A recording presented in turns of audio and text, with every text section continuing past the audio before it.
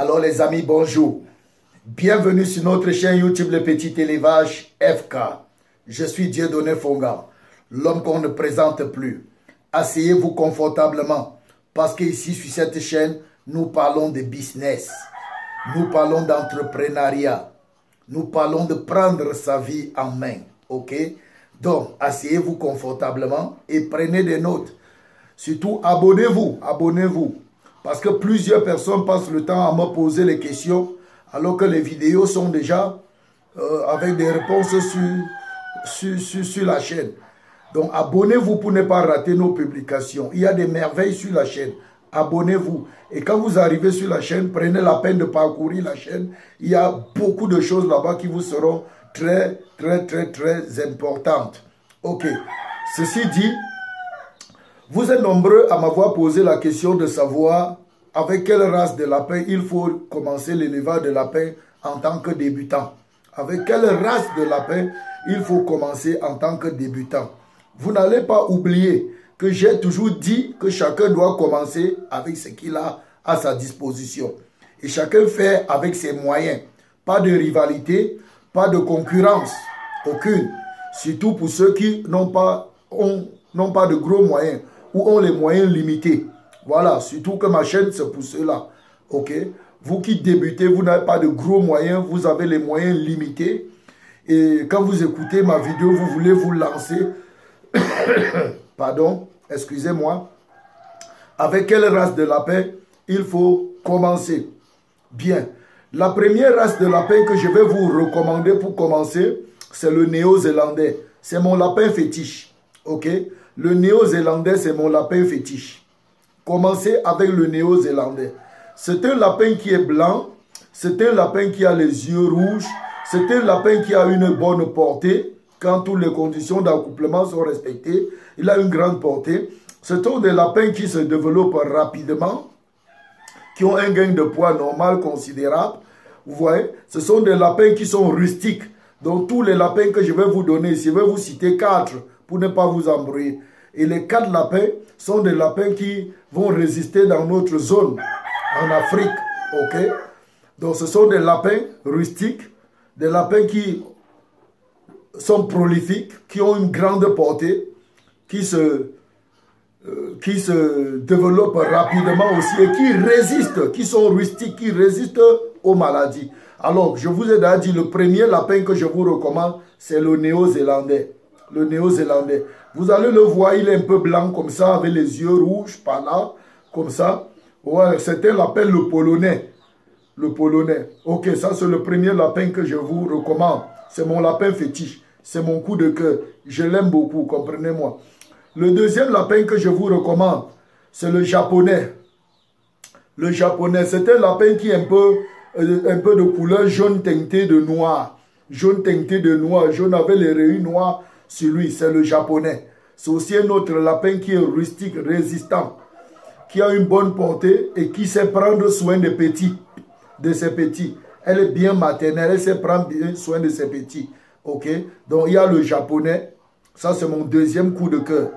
Le troisième que je vous recommande, c'est la fauve de Bourgogne. Fauve de Bourgogne. Il y a un lapin qu'on appelle la fauve de Bourgogne. Elle est totalement rousse rousse.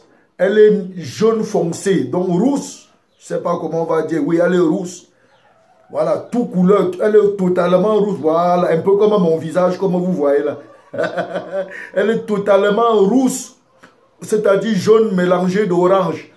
Oh, moi, je connais pas les couleurs là. Jaune, orangé, marron. Mélangé comme ça. Ou c'est jaune, ou c'est orange, ou marron. Ça ressemble à ça, mais on va enlever jaune, tout ça. On va partir sur orange, marron. Voilà, il est un peu comme ça. La fauve de Bourgogne. C'est pourquoi on l'appelle le lapin de couleur fauve. La fauve de Bourgogne. Ok? Donc voilà. Et mon dernier lapin que je vous recommande, mon dernier lapin fétiche que je vous recommande, c'est le papillon. Et quand on dit le papillon, moi j'ai deux types de papillons que je vous recommande. Le papillon français qui est blanc avec sur son museau une grosse tache noire. Sur sa face des taches noires et sur tout son corps les taches noires. C'est le papillon euh, français là-bas. Le papillon anglais, lui, il est blanc avec des taches jaunes ou oranges sur le museau et sur son corps. Voilà les races de lapin que je vous recommande pour les débutants parce que ça ne va pas vous casser la tête. Ça va vous aider beaucoup, ça ne va pas vous casser la tête.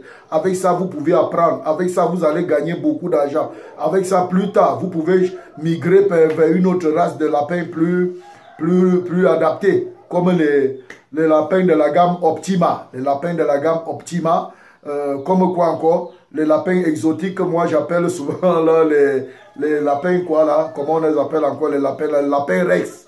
Le lapin qui est prisé au Sénégal, ce sont les lapins exotiques, les lapins de décoration. Moi, je les appelle comme ça, les lapins de décoration, parce qu'ils coûtent cher, ils sont très beaux à voir, on vit à la maison avec eux. Ce sont les lapins de, de compagnie, un peu comme ça. Donc voilà, pour les débutants, voilà les quelques races de lapins que je vous recommande. Il y en a plusieurs, mais on s'arrête à quatre pour ne pas vous embrouiller. Mais tout compte fait, commencez ce qui est à côté de vous et ce qui est à votre disposition et ce qui est au niveau de vos moyens. Au niveau de vos moyens. Voilà, c'était tout pour cette vidéo. Si vous avez besoin d'aller plus loin, prenez mon livre sur la prise en charge de l'apéro de A à Z. Vous n'allez pas regretter vous n'allez pas regretter. Ça va vous être très utile. Et si vous avez besoin de formation, d'accompagnement ou de coaching, petit élevage FK est là. Écrivez-moi, contactez-moi et ensemble, on va faire le voyage. Ne commencez pas sans formation, vous allez beaucoup perdre. Ne commencez pas sans être accompagné, vous allez beaucoup perdre. Vous allez réussir, mais avoir beaucoup perdu. Après avoir beaucoup perdu, je vous conseille de chercher quelqu'un autour de vous qui peut vous aider, vous accompagner dans le voyage. Ce ne serait-ce que pour trois mois. Pour trois mois. Cherchez quelqu'un qui peut vous accorder une formation pour que vous ayez au moins les notions de base. Ou bien accrochez-vous à ma chaîne YouTube ou bien contactez-moi. Nous allons vous aider à atteindre euh, vos, vos objectifs. Ok, c'était tout pour cette vidéo. D'ici à là, les amis, portez-vous bien. Et je vais dire à tous ceux qui ne se sont pas encore lancés jusqu'à aujourd'hui, nous avons près de 22 000 personnes qui se sont déjà lancées dans la l'agriculture en attendant le son de ma voix. Je dis c'est petit. Je veux 100 000 personnes dans le monde entier qui vont se lancer dans l'élevage de lapins. Ok? Je veux 100 000 personnes. Je vais avoir les fous de la cuniculture. Ok? Alors si vous ne vous êtes pas encore lancé, accrochez-vous à la locomotive. Accrochez-vous à la locomotive. Accrochez-vous à la locomotive. Accrochez-vous à un wagon. Et puis on fait le voyage ensemble. Lance-toi mon ami. Lance-toi maman. Papa, lance-toi. Lancez-vous. Lancez-vous. Lancez-vous. Peace out.